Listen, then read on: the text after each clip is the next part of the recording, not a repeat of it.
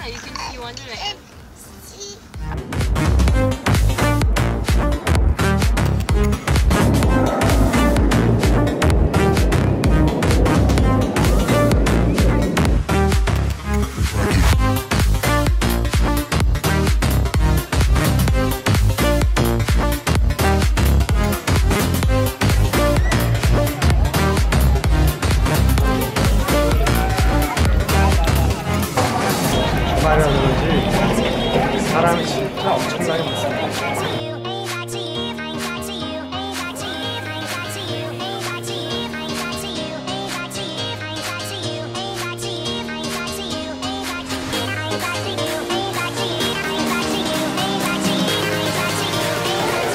오늘 벼룩 온 만큼 화끈하게 한번 놀아보도록 하겠습니다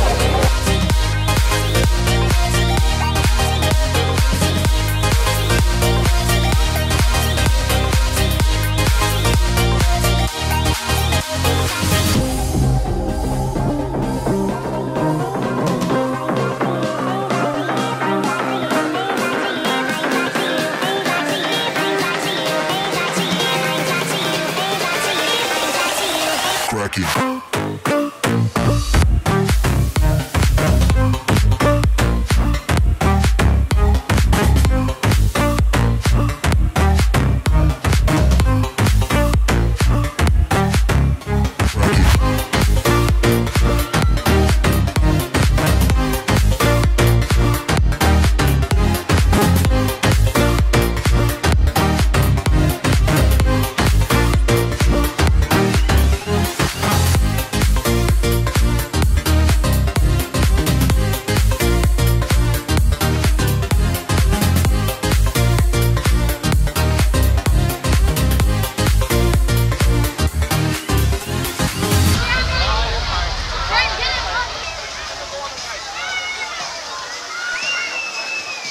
Ready? I'm not ready. Woo!